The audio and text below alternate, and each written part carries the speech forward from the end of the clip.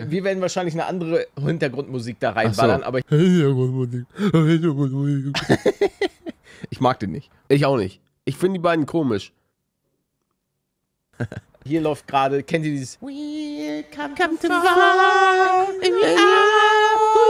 Okay, ich hör auf zu singen.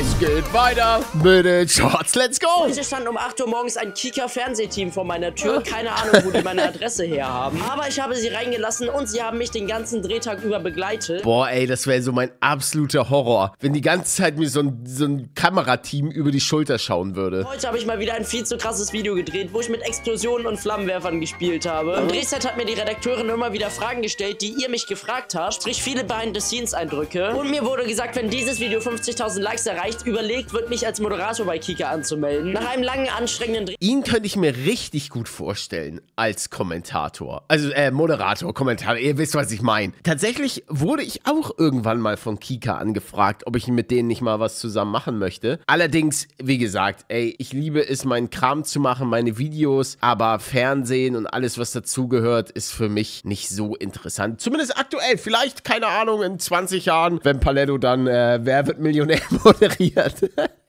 Junge. Nee, das, das Okay, alles klar, weiter. Ah, nee, gib- kommt noch was? Drehtag ging es dann Pizza essen und ihr liked jetzt dieses Video, damit ich Moderator werde. Wie gesagt, kann ich mir gut vorstellen bei ihm. Warte, welche Nummer? Eins. Hört ihr das? Hier wird noch gebaut. Fünf, neun, Man konnte in GDA mit Cheatcodes cheaten? fünf, fünf. Cheat wird aktiviert. Oh nein.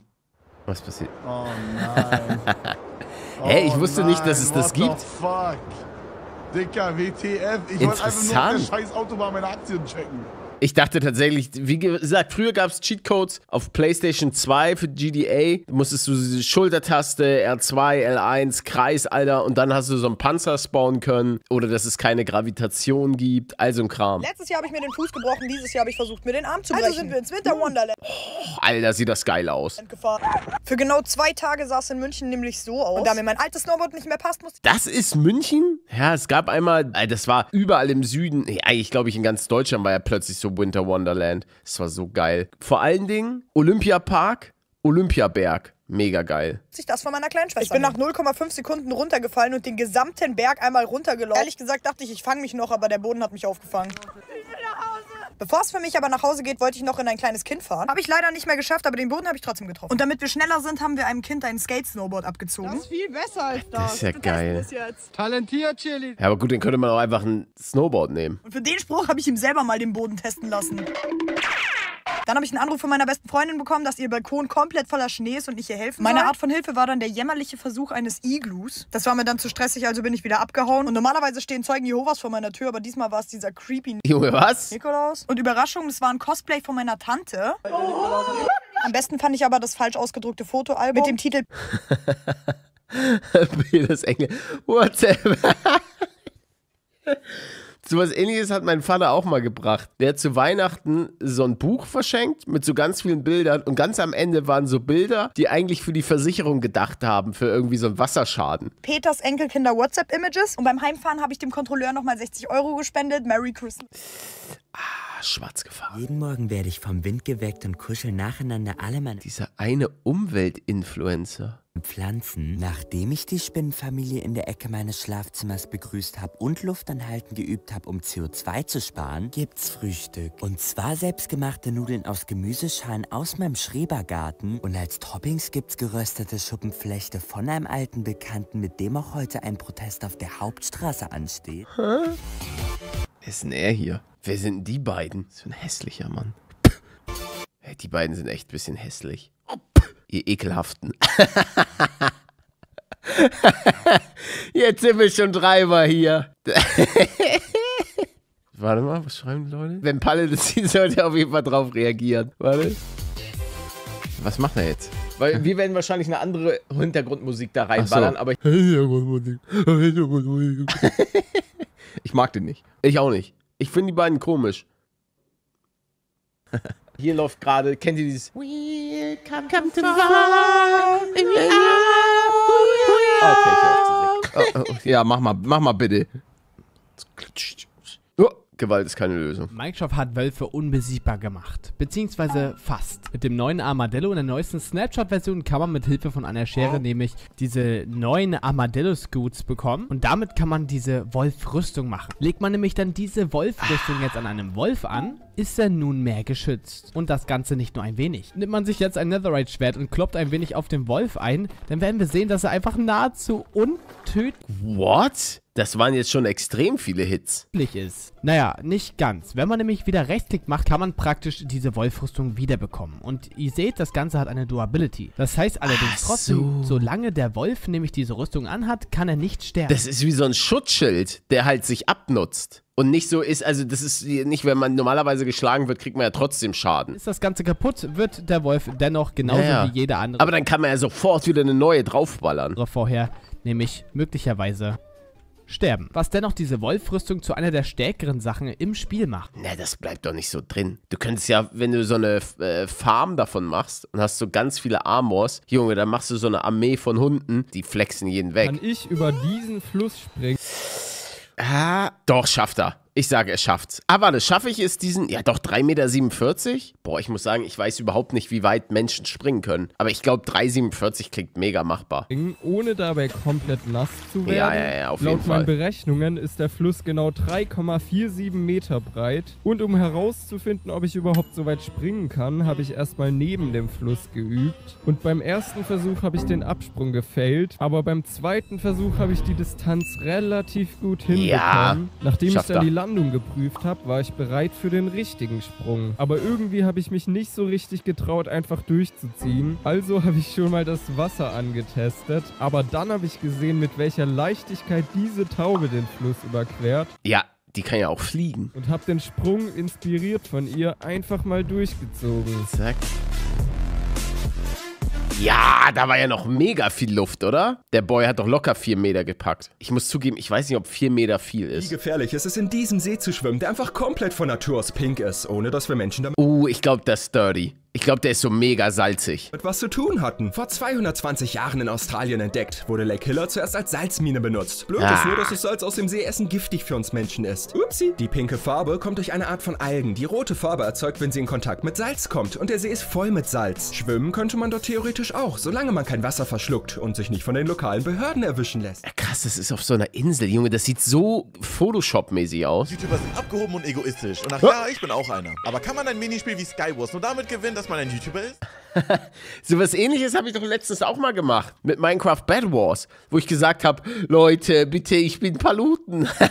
War aber ein cooles Experiment. Ich gehe in die Runde, warte bis nur noch einer lebt und sage ihm, wenn er runterspringt, nehme ich ihn mit ins Video. Es leben noch vier Spieler. Digga, ist das ein Pokémon? Ist das ein Pokémon? Oh ja. Oh, da sind alle drei. Der eine ist runtergefallen. Komm nicht zu mir, komm nicht zu mir. Komm, bekämpft euch.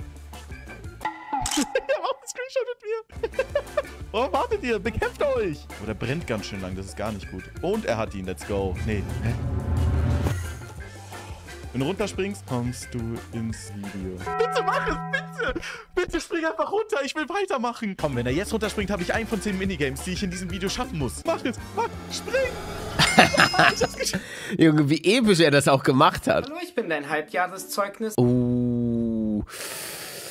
Zeugnisse. Oh, ey. Ich muss sagen, ich habe Schule so in Retroperspektive schon ganz cool gefunden. Erstens, außer Klausurphase, war immer blöd. Tests und Zeugnis.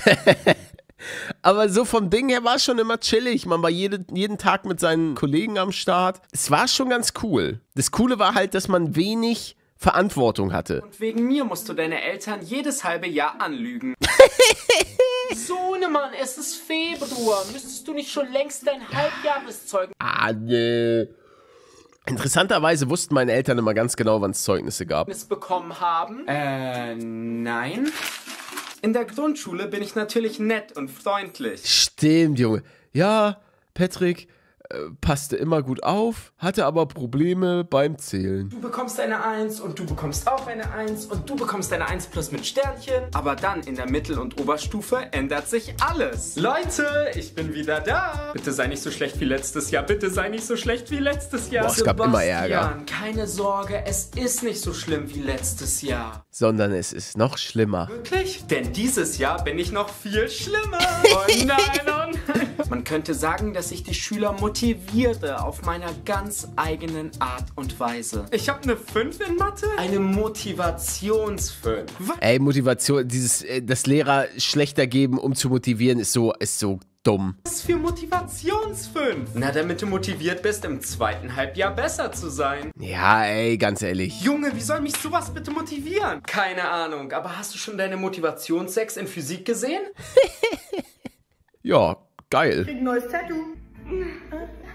Bevor ich aber Unmengen an Geld ausgebe, Papa, wenn du das siehst, scroll einfach weiter. Ich war nämlich wieder bei Luise, meiner Tattoo-Artist. Die hatte auch schon mal angefangen, aber Kostet ein Tattoo so viel? Also um Gottes Willen, ich will jetzt hier niemanden, äh, die sollen so viel Geld dafür nehmen, wie sie wollen. Aber ich hatte nicht so eine richtige Vorstellung, was jetzt ein Tattoo kostet. Und das war ja, da war ja schon einiges an, an Schein. schon auf meiner Haut tätowieren, nicht auf dem Leib. Und während sie das gemacht hat, habe ich ihren Hund massiert. Ich war ja schon in ein paar Beziehungen, deswegen kenne ich mich mit Hunden aus. Nächster Schritt war erstmal eine Rasur. Komischerweise hat sie meine Beine nicht mit rasiert. Irgendwie sind Haare eklig, sobald sie nicht mehr am Körper sind. Dann habe ich die Tomate an den Hals bekommen. Mein Bruder hat es irgendwie nicht gefallen. Nicht mal Tätowiererin findet es schön. Aber hey, wenn nichts schön ist, dann ist das auch nicht hässlich. Luise benutzt auch eine spezielle Taktik, um das Blut zum Zirkulieren zu bringen. Die erste Stelle wurde tätowiert und mir tat das gar nicht weh. Und so glücklich sah meine Mutter auch aus, als sie mich bekam. Diese ganzen Tattoos haben auch so lange gedauert, dass ich erstmal was essen musste. Ist dann, denke ich, auch kein Wunder, dass ich fett eingepennt bin. Und dann bin ich zum Glück aufgewacht.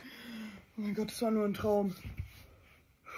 Also, Papa, wenn du bis jetzt geschaut hast, dann siehst du, dass ich kein neues Tattoo habe. Warte, hat sie jetzt eins oder nicht? Dinge, die Fortnite hätte niemals löschen dürfen. Nummer 5, Klombo. In Kapitel 3, Season 1 hat uns Epic Klombo gebracht. Das liebenswerte Dino-Wesen begeisterte sofort die gesamte Fortnite-Community und bekam einen Platz in unseren Herzen. Allerdings entschied sich Epic bereits eine Season später dazu, alle Klombos aus dem Spiel zu entfernen. Nein. Nummer 4, Skin Voting. Am 12. September 2019 bekamen wir ein neues Feature in Fortnite, die sogenannte Community Choice. Hierbei hatte die Fortnite-Community die Möglichkeit, für einen von drei Skins Ja, das Problem ist wahrscheinlich, dass es total leicht manipulierbar ist, oder? zu voten. Der Skin mit den meisten Stimmen erschien dann im Item Shop. Nummer 3, Aber ich find's cool. Double Pump. Der Albtraum aller Noobs, Ah. aber der Traum aller OGs. In Kapitel 1 Season 3 Das weiß ich noch. nerft Epic dann das Double Pumpen und in Season 5 wurde es komplett aus dem Spiel entfernt. Nummer 2, Loot Drops. Loot Drops waren für eine lange Zeit fester Bestandteil von Fortnite. In einigen Situationen haben die Kisten vom Himmel das ein oder andere Game gerettet. Leider hat Epic das Geschenk des Himmels in Kapitel 2 Season 4 aus dem Spiel genommen. Nummer 1, Siphon in Arena. Pro Kill bekam der Spieler, der einen anderen geholt hat, einfach 50 Leben wieder. Durch dieses Feature sind schon einige epische Momente in Fortnite geschehen. Ich muss ja sagen, ey, diese Seifen habe ich mal mitbekommen. Aber das Ding ist, ey, Junge, ich habe gar nicht so viele Leute gekillt, dass sich das gelohnt hätte.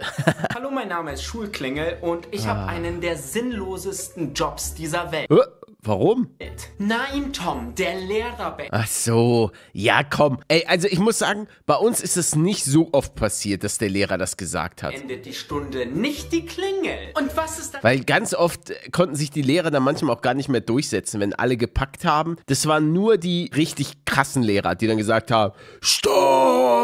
Jetzt setzt sich hier jeder wieder hin. Der Sinn meiner Existenz? Also habe ich mich dazu entschlossen, einen neuen Job zu suchen. Stimmt, mir fällt gerade ein, wie ging eure Schulklingel? Bei uns war es, ich weiß es nicht, ob es bei uns ist, dünn, dünn, dünn. Ich glaube, wir hatten so eine ganz komische. Was sind denn so Ihre Stärken? Also, ich bin sehr gut darin, Schulstunden zu beenden, Weil in der Grundschule hatten wir so ein wobei das immer der Lehrer eigentlich macht, was bedeutet, dass ich gar nichts kann. Äh.